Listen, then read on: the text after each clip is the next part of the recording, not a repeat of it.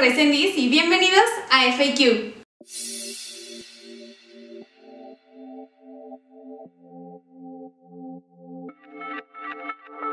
Nuestro invitado de hoy es el actual director de la carrera de comunicación y profesor titular de varias materias.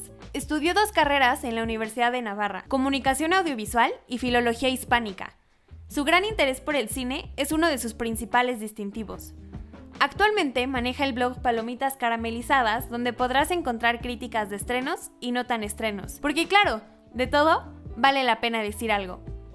Actualmente se encuentra trabajando en su tesis doctoral, donde hablará sobre el cine de Alejandro González Iñárritu. Consíguela próximamente en tu biblioteca UP más cercana. Desde hace varios años vive en una residencia de estudiantes universitarios, por lo que no descartes que sea tu roomie en un futuro. Además, antes de ser un erudito en el arte del cine, nuestro invitado tuvo un fugaz paso por el teatro. Puede presumir que fue uno de los primeros hombres en interpretar a Loki en una producción local, incluso antes de que existieran las películas de Marvel. Reciban con un fuerte aplauso a Juan Carlos Carrillo. Hola Cali, ¿cómo estás? Bienvenido a FAQ. Muchas gracias. ¿Listísimo para empezar? Pues no lo sé, pero, pero pues empecemos ya, como sea. Perfecto. ¿Qué es lo que hace diferente a la carrera de comunicación en la Universidad Panamericana de todas las demás? A buena pregunta, eso creo que sí lo sé, lo sabría decir. Me parece que tiene un enfoque más humanista. Nos interesa mucho que nuestros alumnos en el futuro influyan positivamente desde la información, desde el entretenimiento, y para eso consideramos que una base fuerte son las humanidades y, también queremos exigirles mucho académicamente, y me parece que eso nos distingue.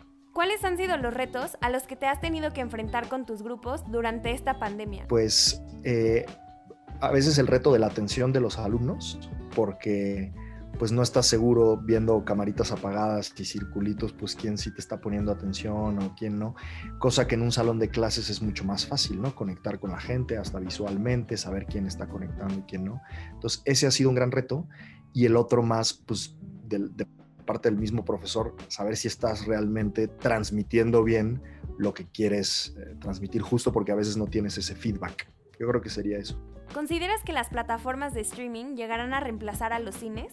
No totalmente, creo que va a pasar algo como cuando la televisión, por ejemplo, que se hablaba de que quizá el cine corría peligro, creo que al final cada uno encontrará su nicho, que de hecho ya está empezando a pasar, ¿no? O sea, ahorita que poco a poco los cines van reabriendo, ¿no? Pues empieza a haber cierta repunte de las salas de cine y creo que van a llegar a una, a una simbiosis buena, incluso de estrenar al mismo tiempo en cine y en, y en streaming. Creo que va a ir por ahí. En tu experiencia, ¿cuál es la mejor manera de asustar a un alumno de comunicación? De asustarlo, pues quizá con, el tema de, las calificaciones, ¿eh? o sea, digamos, obviamente no es que se haga por eso, pero eh, a un alumno universitario pues sí le importa que afecte algo directamente a su calificación, por no decir a su beca, entonces pues no es que se hagan las cosas para asustarlos, pero cuando algo corre en peligro la calificación, digamos que la gente pues responde. ¿no? ¿Cuál ha sido la peor película que has visto y por qué? Wow, la peor película. Pues mm, yo quizá por decir una, eh, la de los Cuatro Fantásticos, antes de que fuera el boom de los superhéroes, hay una versión de los Cuatro Fantásticos que es, me pareció muy mala y tan es así que ni siquiera la acabé, cosa que es raro. Yo en una película, aunque sea muy mala, intento acabarla hasta por la mera curiosidad, pero esa podría ser una. ¿Con qué tipo de taco te sientes identificado o representado y por qué? ¿Con qué tipo de tacos? Eh, gran pregunta. Mm, pues quizá con, no sé, los, podría decir que esto es totalmente improvisado, por los tacos al pastor, porque me parece que se pueden llevar bien con todo y que, que en general pueden quedar bien y, me parece que esa es una de las cosas que yo intento al menos, ¿no? O sea, poder conectar con gente aunque piensen de modo distinto o aunque sean distintos. ¿Con qué artista te gustaría hacer un dueto en un concierto? ¿Con qué artista? Pues mira, em, ya, ya falleció, pero Juan Gabriel daba unos conciertazos y creo que les recomiendo ver el, el, concierto en Bellas Artes de Juan Gabriel si no lo han visto y poder haber estado ahí participar en algo de eso, creo que hubiera estado a todo dar. Si pudieras darle un consejo a un alumno a la mitad de la carrera, ¿qué le dirías?